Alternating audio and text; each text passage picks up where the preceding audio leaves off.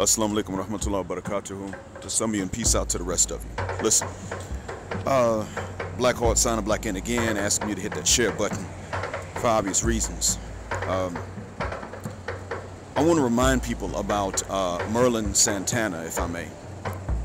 When I said his name, some of you know him. You remember him uh, from certain roles in which he's acted. And then, uh, Assalamu alaikum, sir. And then some of you may not remember the actor's name, but you might remember the character's name, Romeo, on, uh, I think it was a Steve Harvey show, or it was the, uh, not the talk show, but the sitcom from uh, a long time ago. Merlin Santana uh, was actually killed because a 15 year old girl told her friend or boyfriend that he had approached her when he had not. And he wound up killed in California because of it. Nine days later, he was buried. I believe it was in uh, New York, if I'm not mistaken. He was killed because of a lie that a little girl told. And some would say he was 15. Well, he died. She's no longer 15, but he's still dead. And 15 is old enough um, to know right from wrong. Now, some would say it's not old enough to have adult experiences, but it is old enough to make moral judgments that are sound. And while I don't know if she knew that her boyfriend was going to kill this man, uh, I'm sure she had a better idea of what he would do than anyone else did. And he did not approach her. This is the reason why it is that we men um, should prioritize in our protection the women that we know, the women that we know and trust. If women have a right to do that with uh, their money and their private parts, and they do have that right, then we have the right to do that with our lives and our health. That's a fair assessment to make. We're not required uh, to just run off willy-nilly and grab someone without any evidence or any proof on the word of someone that we don't know. Now, when you know someone you know they're honest, have at. I mean, you, you know what judgments to make. But on the word of someone you're really not sure about, or on the word of someone who is not, uh, whose honesty is in doubt, someone you've caught lying before, you just don't do it. Because you can wind up with a murder charge and see, this little girl that did this, 15 years old, she got some time in prison. And I think she's finished serving it. She was a juvenile. Um, she got time as a juvenile. But Merlin Santana's still dead.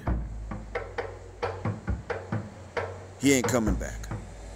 She told the lie. Her boyfriend did the killing. Both of them were wrong he still got a stiffer sentence, not only because he shot, but because he was older, number one. I mean, because he was older, number two. I mean, he did the shooting, number one, but then he was, number two, he was older.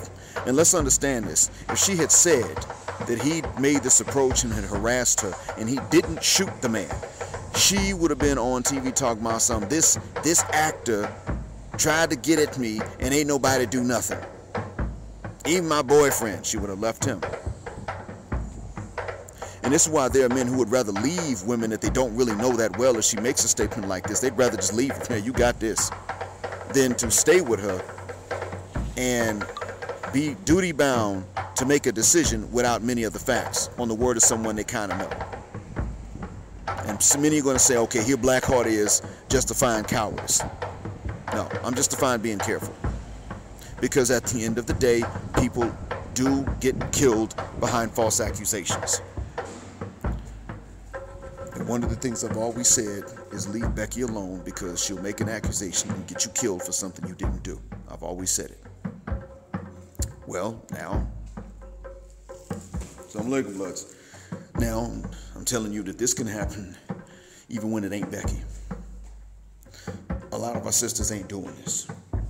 The only problem is that it is enough of them doing it to where we all have to be careful because, as again I've said, bad options can be 1% of the population, but they're always available. They're always out there. It doesn't matter if the crazy bee is 30%, 70%, or 1%. You're going to run across her. You got to be careful. The one that's as good as gold, no, you, you, you may never come across them. It took me until age took me up until age 42. Well, I'd say 41 actually to meet, and then 42 to tie the knot with the one that's as good as gold. But I can tell you now, it, it didn't take me 14 years to find the ones that were kind of out there, crazy. The ones that were just a little, little rotten, a little mature. But hell, by the time I got to 19, I dealt with the crazy, uh, not just the bad and the lazy and the selfish, but the insane too. I dealt with the ones who were far worse than anything I or any close friends of mine had ever been. Because they were out there.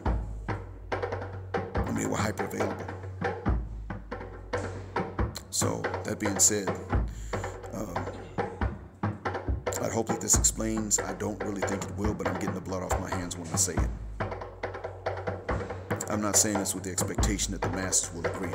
I'm only saying it with the expectation that I will not be guilty of what they did not understand previously. That's all. All right.